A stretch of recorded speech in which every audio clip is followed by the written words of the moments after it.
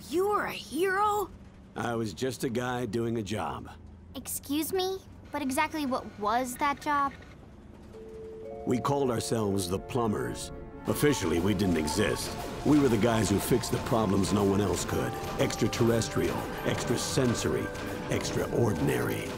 So, all this time I've been going hero, I've really been following in your footsteps. I'm a plumber in training.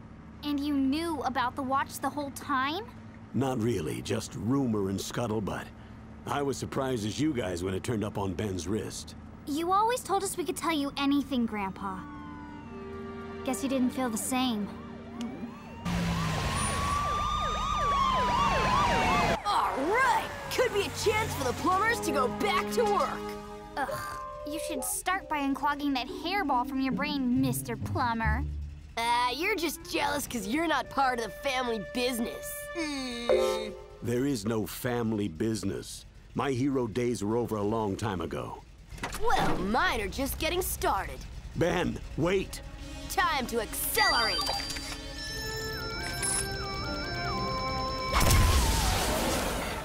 Oh, Ripjaws!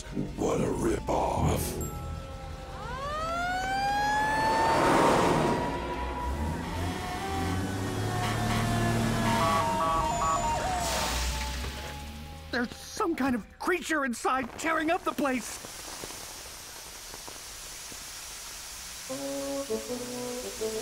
Sorry, just needed to moisturize.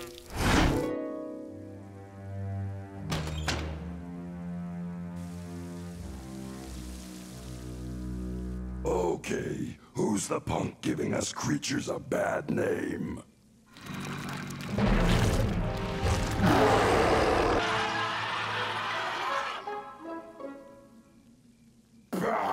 Ha ha ha!